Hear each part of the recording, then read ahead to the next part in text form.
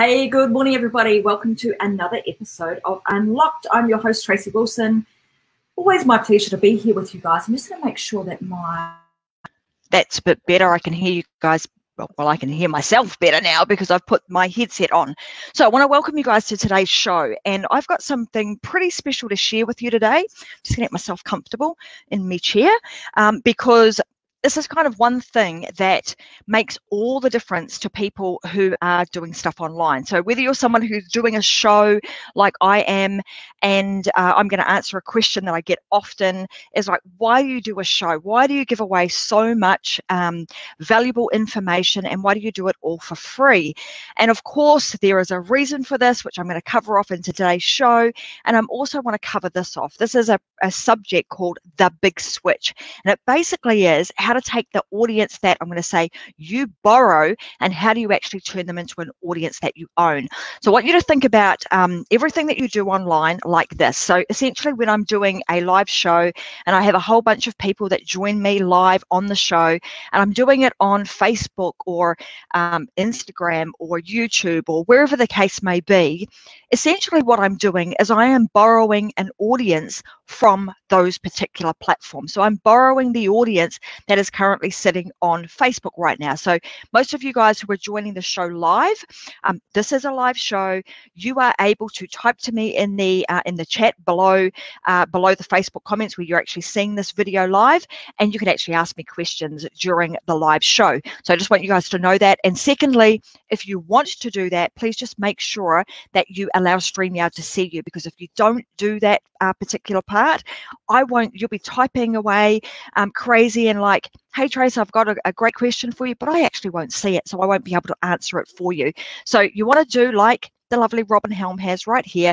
She is allowed StreamYard to see, and so she can type to me and she says, Hi, Tracy. I say, Hi, Robin, um, and I'm actually able to see her. So you have to do that so that I can actually see your comments. So like I said, I do a show and it is every single week, and I give away a whole lot of information. I kind of share, I'm going to say, you know, lots of people say the meat and potatoes of everything that I do. I don't hold anything back. I, I give it all to you guys. Um, there's a bunch of stuff that I do inside of my programs that are, you know, really intimate. Um, I spend a lot of time, one-on-one time with my students, working through their specific needs in their business. But on the show, I give you guys like the general tools, the general concepts, the ways in which, um, you know, the tools and resources, etc., that I use that I have available, and then you guys can adapt them yourselves to whatever whatever business um, you have.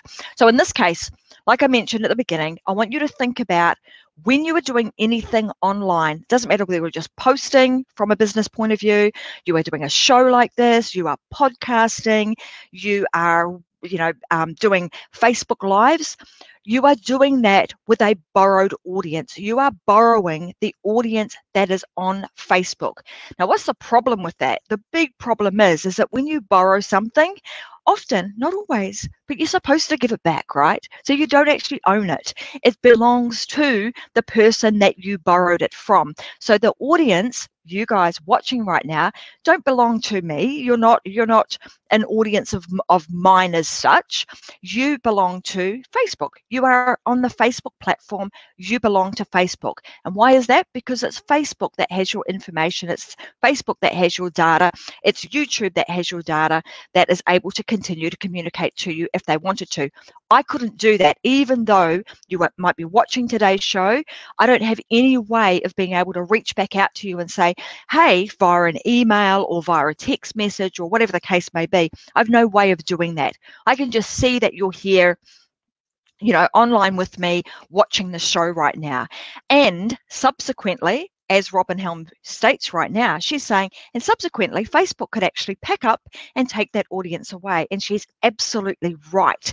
So, what we want to do with this is we want to create a big switch. Now, there's some fundamental things that I need to get you to understand before we move to that, um, before I sort of start delving into what the big switch is. And they are this there is um, several, there's three different types of traffic, let's call them that, or audiences. And we need to understand the three different types of traffic to enable you to actually take advantage of what these three different types of traffic are. So there's traffic that you control, and this is what we call buying your way in. Now, that might be something like a Facebook ad. All right. So you can control to a degree the traffic or the audience that you uh, can reach by buying some Facebook ads and you need to pay your way into that. This is what we call buying your way in. The second type of traffic you have is the traffic that you earn. So you might earn your way in by doing you know shows like this doing podcasts by um, posting regularly so that you start building up an audience and you're actually earning your stripes so to speak. You are giving away really good information really good value and over time people get to know you like you trust you want to continue to dial in and listen to what it is that you've got to say. That's what we call earning your way in. So fast way is you cough up some cash and you say to Facebook or Instagram or YouTube or wherever it is, you say, I want to go hard and fast and I'm prepared to pay for it. And I want you to spread this information out um, to the audience that I have stipulated uh, based on my, my budget. Then the traffic that you earn is like showing up, doing all doing things organically, showing up, earning your way in, speaking on a podcast, creating your own show, speaking on other people's podcasts, so on and so forth. And like I mentioned, over time, people get to know you, like you, trust you. They come to know what to expect them when they are uh, interacting with you from this from an online perspective, and you get to earn your way in. The third piece of traffic is what we call traffic that you own. And this is where things start to get really interesting because we want to make the switch from the traffic that you control, right? So you're having to buy your way in all the time, and also the traffic that you earn by having to show up religiously, doing things over and over and over again.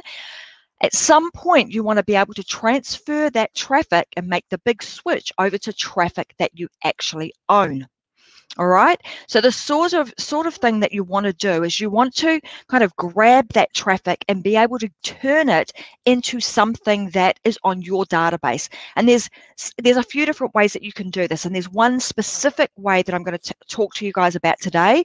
And i'm going to give you a tool that will help you to be able to create the big switch in your own business if you are doing anything online because you absolutely do not want to be at the whim of you know um, Zuckerberg and the other guys that are making all of the decisions about what happens on their platforms.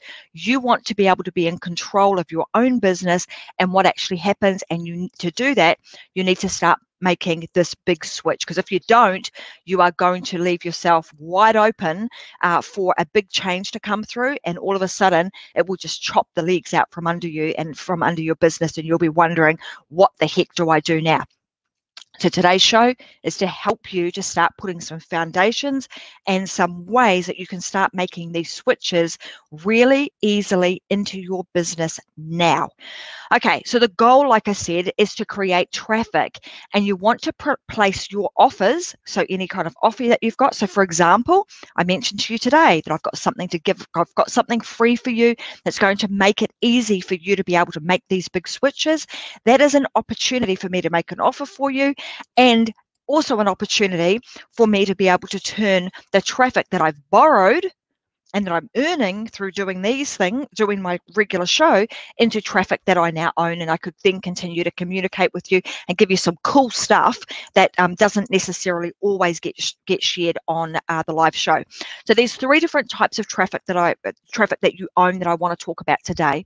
So there's the get somebody on your database and on your list because what you want to do is there's money in your database. And if you think about growing your business long term, what is it that is really, really valuable to somebody who is going to purchase your business? It's the database that you have. It's the ability to be able to sell the products and or services that you have to an audience over and over and over again. So super important and a, a point that should not be underestimated in any business really important piece. Okay, so we want to get them onto your database. First type of database is like your email list. Then the next one is like your pixel data. I'm not going to cover too much about that today. I'm just going to mention it. And then there's also the opportunity for you to be able to do some like automated, I'm going to call them bots, you know, using um, uh, uh, AI and being able to talk to, to people through you know use of um, robotics so to speak. And i'm personally not a big fan of that. I much prefer to speak to people you know personally rather than creating these um, these automated bot messages. However they work and they work really well for some people. So this is going to help you to, or like I mentioned, to help you to increase the value of your business and help you to future proof it. All right. So it doesn't matter what happens. If you've got a decent size database, then you've always got something to fall back on and be able to come up with a new product, a new service, a new way of doing things that you can actually share with your audience. Okay, so we've talked about the three different types of traffic. So the traffic that you own, the traffic that you earn and the traffic that you control. And what I would say is I would get you to write this down on a piece of paper and just jot down like, you know, at the top, traffic that I control, I will pay for it and then just jot down what sort of things could you do that would be you know in that category. So are you going to do facebook ads? Are you going to do youtube ads? Like what sort of things banner ads? What sort of things could you do that you are prepared to pay for? Newspapers billboards so on and so forth. You can just get your imagination run wild. Then you've got the traffic that you earn. So what could you do to continuously earn the earn the, the the trust um, and get to be known, get to be liked, you get to be trusted with and with your audience, what sort of things could you do with that? So just jot that down under the section of traffic that you earn, and then in traffic that you own, what sort of things could you do to be able to make that switch and move people from that traffic that you control that you have to pay for, the traffic that you're consistently earning, into traffic that you actually own. And why do we want to do that? Because your list is going to become your secret weapon. Your list actually has leverage in it. It's a list that you can leverage to be able to, like, like I mentioned, offer your new products and new services, tell people about the new things that you are bringing out, um, get them to know you, like you, and trust you. So if you start a new, brand new business, they already know who you are, and you have a list of people that you can go to and you can then announce and you can launch that new business too. Okay, so I'm just going to scoot down because I've actually got a presentation based on this and I'm just covering some of it off uh, today. A lot of, more of this, I go really deep inside of a program uh, that we've created called Influence and Authority Method. That's where I teach people how to create their own show. This is a big part of it. So you're not just showing up doing your show and it's all for naught. You know, you're doing it to build up your influence and your authority. And then at some point, you're going to be able to offer uh, various different, you know, giveaways, freebies, uh, lead magnets, etc., that people are going to want. And you want to make sure that you're creating those things uh, in a way that people actually do want them. And if you hang about on today's show, I'm actually going to be covering off the nine, like the nine principles that uh, help you to create lead magnets that your audience actually want all right so just hang about because i'm going to i'm to get to all of that okay so what does doing this transfer um, do for you and your business? So I've talked about that it actually adds value, that it gives you some flexibility. It means that you're able to be a little bit more agile. It gives you some leverage um, further down the track, and it makes your business more desirable when the time comes for you to want to sell it. But at this point, you are building out your database so that you can continue to build and nurture relationships with your audience so that as time goes on, you can continue to introduce them to other things that might be useful for them to help them improve and thrive across their business, their family, or their life in some way, shape, or form. So that's essentially what we're wanting to do here. Okay, so now what I'm going to cover off is I'm going to cover off a document that I'm going to make available to you guys today. So you'll be able to go and you'll be able to download it and you'll be able to create your lead magnets in a way that covers all of the nine key things so that you're creating them so that your audience actually want them. They're not just like, oh, pretty things that nobody's going to want to download. So there's nine things that we need to cover. So in this um, document, and in fact, what I might even do is I might go like this, and I'm going to see if I can share my screen with you guys, because I think that might be mighty helpful. So let's just do that. Share, share my screen. And let's just share the screen over here. Okay, let's pop that up on. All right, so you can see that there is this lead magnet document on the screen right now. Just squeeze that up so you can see it. Okay, so in the giveaway that I'm going to give you guys today is there is a um, there is this document. It's a workbook, a worksheet, and a lead magnet checklist. So I want you to think about this. So if you're somebody who's doing a podcast, doing a show, or you've got some sort of online program, or or anything for that matter, you're doing something online and you want to be able to make a switch. You want to to switch the traffic from traffic that you're borrowing or that you're buying into traffic that you actually own. You need to do it in a way that is really natural, that is really, you know, from a place of giving, we're adding value. And by doing that, people are going to want to download what it is that you have. So, creating a lead magnet the first thing you want to do is your lead magnet must have a title.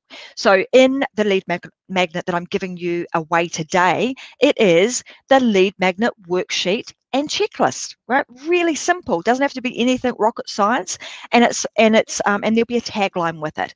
Okay so then i'm going to describe the lead magnet the promise and the outcome. Okay so in this checklist you'll be able to download it and you'll actually be able to write on here and it's going to help you to formulate what your lead magnet should be and potentially even what it should look like. It'll help you frame all of that up. So you want to describe what the outcome is. So in this case today once you've complete, once you download the lead magnet worksheet and checklist, you're going to know the exact steps that you need to take to be able to create work, uh, create lead magnets that your audience want. That is the big promise that I am giving you guys today. Then you want to think about what type of lead magnet should I be creating? And there's all sorts of different things that you can do. Reports, guides, toolkits, resource lists, quizzes, surveys, you know, there's a whole bunch of them. And I've put them all on the checklist here for you to uh, for you to have a look at and for you to consider creating for yourself. All right, then we're going to go to, I'm going to, I'm going to uh, then, let me just make sure I've got the right slide here. Let me just pull this back. Come back here, you. All right, there's another document I need. Just give me two seconds. Let me pull it up for you. Uh, where'd we go? Get over there. If you guys are listening to the podcast right now, I'm going to give you guys um, all of this in the description section. All right, so you'll be able to get a copy of the checklist in the description section today. Okay, so the second page of the document, I'm going to go through the nine point lead magnet checklist. And these are the nine things that you need to consider when you are creating your uh, lead magnets. So the first thing you want to do when you're creating your lead magnet is it needs to be super specific. So you don't ever want to be like wide. They should never be vague or vanilla. They need to be very specific and really solve one specific problem or a sol- provide a solution to a very super specific market. All right. So in this case, it's for you guys who are creating things online. So if you are, um, if you're not using online, any kind of online promotional um, marketing uh, strategies, then this is probably not going to work for you. All right. So this is a very specific market, those that want to use online strategies. The next thing you want to do is that your lead magnet should be just one thing. So everybody wants that magic pill or the silver bullet. So it's easy and it's always better to make just you know just to deliver just one specific promise and uh, as opposed to a lot of little ones. So you don't want to have like five or six things that you're going to get out of the lead magnet. You just want to have one very specific thing. So, and that's so that people can get a win. You want them to win with what it is that you are providing them you also want to make sure that your lead magnet speaks to a known wanted end audience that is really important i'm just going to see if i can make this a bit bigger. There we go, that's better. All right, so it needs to speak to, so you want to know what your, what does your market really want? If you can figure that out and you can offer that in a, in a lead magnet that promises it, they will happily give you their contact information. So this is kind of like an exchange of, um, of, of information. They'll provide you with their email and their name. You provide them with something else in value. Really important that that that that value that exchange of value actually happens.